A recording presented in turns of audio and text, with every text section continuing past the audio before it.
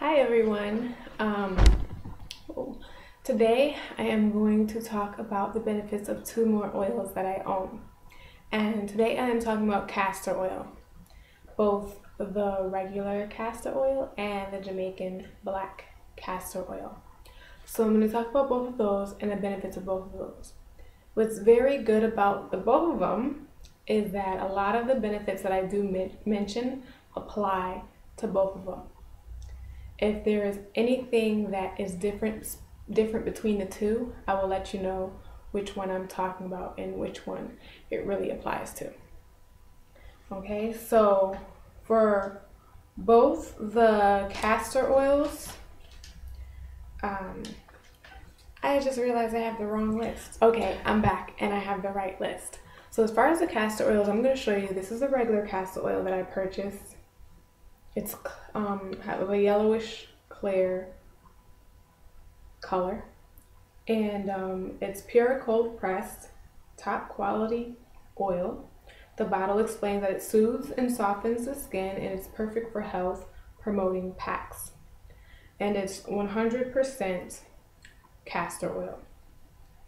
So this is how this one looks.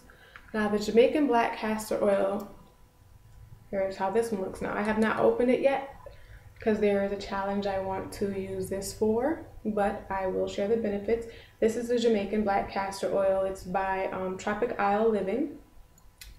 And um, it says it's all-purpose healing oil, 100% natural, no salt.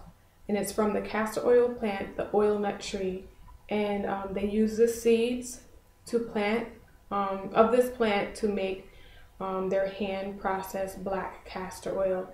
And there is a picture of the plant. I wish it was clear, but to tell you the truth, living here in Florida, we spotted one of these plants and it was just out there, like in the bushes, just out there. I wanted to go and hack it down to make my own castor oil, but I know I'm never going to do that. But it's there in Florida. So um, these are how the two of them look. Now the color of this one is more of a reddish brown consistency. Similar color as the bottle. And this one is more of a clear yellow consistency. They're both very, very, very thick oils. So I'm going to talk about how the benefit what the benefits are and how you can use it. Okay, so um, the castor oils, both of them is which I'm what I'm talking about right now, is that um, they both promote hair growth. They both um, help the hair grow back thicker, which is true because the oil itself is thicker. So it, it makes the hair seem thicker or it does help it to grow back thicker if someone has edges that are, um, say, thin or are, um, say, breaking off or thinning out because of hairstyles that may put a lot of stress on their edges, or it could be hereditary. Um, if they have thinning edges because of that, or maybe a thinning crown, they can apply either castor oil, and over time, their hair will thicken up. It helps to promote and get that thickness back, you know, helps their hair grow. And there's pictures out there showing before and after what castor oil can do. It reduces and prevents hair damage. You can um, apply the bow for that. Both of them eliminate dry hair, makes your hair look fuller, once again thicker and shinier. And it can be used as a deep conditioner and moisturizer for the scalp. It helps prevent dry scalp. A lot of um, times castor oil is not so as much applied to the hair itself, but to the scalp and uh, possibly the ends to keep the ends moisturized and flourishing so that they don't break off. Now, apart from this castor oil, Jamaican black castor oil is um, a little bit different because it's raw. It's raw castor oil. It has more nutrients because this says it's cold pressed. Um, so it's processed in some type of way, though it's 100% pure. Jamaican black castor oil, a lot of people may prefer that more because it literally is um, raw from the plant and it has a lot more nutrients in it. is rich in omega 9 fatty acids that help um, to moisturize the scalp. And once again, this is this, the black castor oil that I'm talking about. And um, it can ward off infections that cause hair loss and scalp disease. So it may not prevent, like if something is hereditary, it's hereditary. Um, castor oil may be able to slow the process down, but it may not be able to stop what's happening. But um, if used over time, it can ward off infections that cause hair loss. Now, we're talking about something that's not hereditary. Um, it can ward off infections that cause hair loss and scalp disease. So, if someone is finding that their hair is beginning to thin in more than one place, or in one place more hair is coming out, hop on that castor oil because castor oil really does help promote hair growth and helps to thicken hair.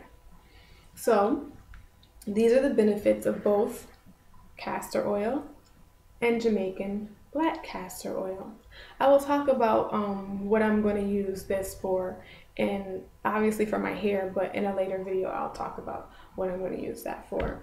Um, as far as how to apply the oils to the scalp, I have an oil bottle with the spout on the end, like very thin that you can put upside down and really, you know, get into your scalp.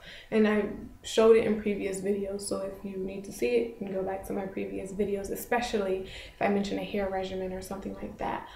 Um, and what you can do is apply it all over the scalp and literally massage, massage it in.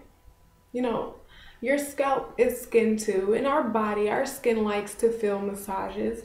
So you literally go and you massage in everything. You massage it in. And this can be every night. This can be every other night. This can be every third night. But it's good to apply the castor oil as much as possible. Now, um, applying castor oil can make your scalp itch um, over time. Not may not be immediately. It can make your scalp itch because it's thick oil and it can attract, you know, um, dirt, not lint. I was gonna say lint, which can too if you roll your head around. But I mean, on, on the ground, but it, it can attract, you know, something that can make your hair itch. Now, to balance that off, you can mix your castor oil with just a little bit of jojoba oil. So now we're finding another benefit of jojoba oil, which I spoke about in my first video. So if you um, say apply this castor oil three times a week and somewhere in the middle of the week your scalp starts itching, apply some jojoba oil and do the same thing. You don't even have to apply a lot of it. Do the same thing. Massage it right into your scalp. Be good to your hair. Be good to your scalp because that's where the hair growth is coming from. So those are the benefits of castor oil. Um, I have, let's see, I think three more oils to talk about, which I'll talk about in my next video because when I originally looked at my oils, I forgot about my Jamaican black castor oil. So instead of six different oils, I actually have seven. And in the next video, I will talk about the last three. So until next time, I will see everyone later. Bye.